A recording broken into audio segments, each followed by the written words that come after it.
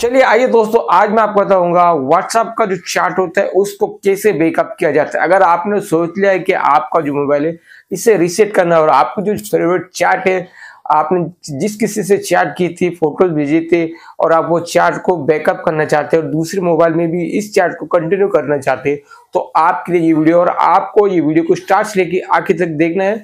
आज मैं आपको बताऊँगा कैसे आप अपनी व्हाट्सएप चैट का बैकअप करेंगे। चाहे आप कौन सा मोबाइल ले लीजिए, उसके अंदर आपको date by date photo by photo के साथ आपको ये चार्ट यहाँ पर देखने को मिलेंगी। तो चलिए स्टार्ट करेंगे वीडियो और बढ़ेंगे आज के वीडियो टॉपिक के ऊपर। अगर आप हमारे यूट्यूब चैनल पर नए तो चैनल को सब्सक्राइब ज़रूर करें। ये वीडियो अगर आप फेसबुक पे देख रहे होंगे तो फेसबुक पे भी आपको फॉलो करना है, ताकि इस तरह के वीडियो अपडेट आपको रोज़ाना मिलते रहे। अर्निंग से रिलेटेड और टिप्स और टिक्स से रिलेटेड वीडियो आपको रोज़ाना मिलते रहेंगी।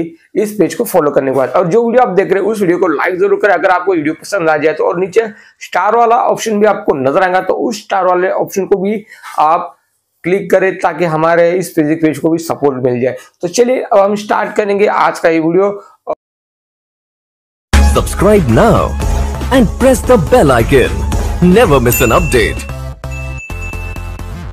तो अब आपको करना क्या, देखिए, आपको जाना है आपके व्हाट्सएप में। व्हाट्सएप में जाने के बाद आपको सेटिंग में जाना है। सेटिंग में जाने के बाद आपको सबसे पहले आपको जाना है व्हाट्सएप के सेटिंग में। सेटिंग में जाने के बाद आपको चैट में जाना है।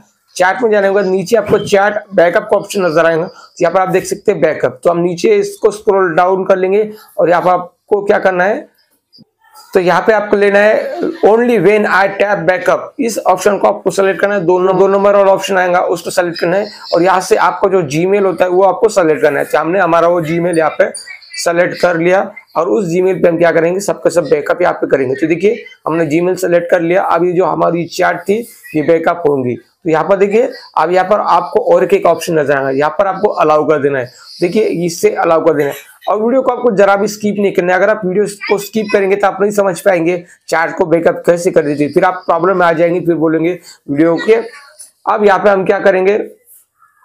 यहाँ पर देखिए, हमारा जो व्हाट्सअप चैट है, यहाँ पर बैकअप हो रहा है। तो देखिए आप, यहाँ पर अभी जो काउंटिंग शुरू हो चुकी है तो आपको यहाँ पर कुछ भी नहीं करना है। बैकअप को एक बार लगा दिए तो आपको थोड़ा सा इंतज़ार करना है। आप देख सकते हो मैसेज जो बैकअप हो चुका है हंड्रेड परसेंट आप देखेंगे, ये हमारा नेटवर्क लेगा तो अब यहाँ पे आपको, आपका जो नेट होता है, ये ऑन कर देना है। नेट ऑन हो चुका अभी जो हमारा गूगल ड्राइव है, वहाँ पर सब कुछ डाटा भी हमारा बैकअप हो रहा है।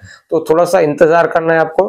थोड़ा सा टाइम भी लग सकता है। जितना ज़्यादा आपका डाटा रहेगा, उतना ज़्यादा आपको यहाँ पर टाइम लग सकता है। अगर आप मोबाइल को रिसीव करना चाहते हैं तो ये वाला प्रोसेस आपको सबसे पहले कर लेना है। भाई, हमारा जो डाटा है बैकअप हो रहा है तो आपको वाईफाई ले लेना है। यहाँ पे हमने वाईफाई ऑन कर रखा है, और हमारा मोबाइल का डाटा ऑफ़ कर रखा है।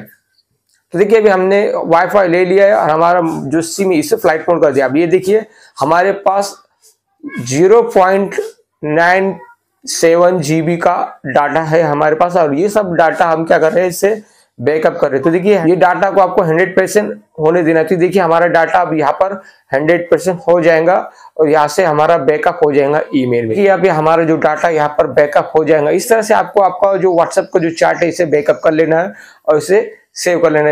ये प्रोसेस हो गई तो ये प्रोसेस नहीं होगा जब आप भी नए मोबाइल में अपना व्हाट्सअप ओपन करने जाएँगे तो सबसे पहले आपको आपका मोबाइल नंबर डाल देना। मोबाइल नंबर डालने के बाद वहाँ पर आपको एक ऑप्शन मिलेगा बैकअप डाटा तो वहाँ पर आपको बैकअप डाटा सेलेक्ट करना है।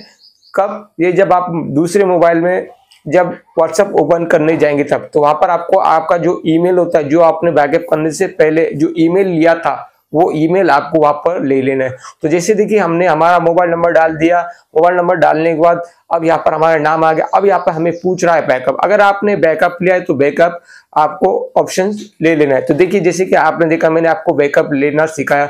अब हम यहाँ पर क्या कर रहे हैं? नए मोबाइल में इसे इंस्टॉल कर रहे हैं। तो अब नए मोबाइल के अंदर हमारा जो पुराना चैट था, हमारे पुराने मोबाइल का जो चैट था, वो हम क्या करने वाले नए मोबाइल में इसे लेने वाले जैसे कि वैसे आपको यहाँ पर चैट देखने मिली, जो डेट थी, जो फ़ोटो था सब के सब हमारी जो जितनी भी चैट थी, वो सब कुछ चैट हमारे नए डिवाइस में अब यहाँ पर हमें देखने को मिलेंगे। तो अब यहाँ पर हमने क्या किया? सब कुछ कर लिया। अब यहाँ पर देखिए, आपको एक ऑप्शन नज़र आएगा। जब भी आप नए मोबाइल में इंस्टॉल कर लेंगे तो आपको वहाँ पर एक ऑप्शन नज़र आएगा बैकअप तो बैकअप करते समय आपको वो ईमेल लेना है, जो ईमेल आपने बैकअप करते समय लिया था। जैसे हमने पिछले मोबाइल में बैकअप के लिए ईमेल लिया था, वही ईमेल हम क्या करेंगे? नए डिवाइस में से ऐड करेंगे। जैसे हम यहाँ पर नए नए मोबाइल में वो ईमेल ऐड करेंगे और बैकअप को ले लेंगे तो हमारी जो पुरानी जितनी भी चैट थी वो सारी की सारी चैट तारीख के साथ फ़ोटो के साथ जो भी आपने बैकअप किया तो सब कुछ बैकअप आपका नए व्हाट्सएप में आ जाएगा और आपका ये यहाँ पे चैट बैकअप इजीली हो जाएगा। तो इस तरह से आप अपना व्हाट्सएप का चार्ट बैकअप कर सकते हैं।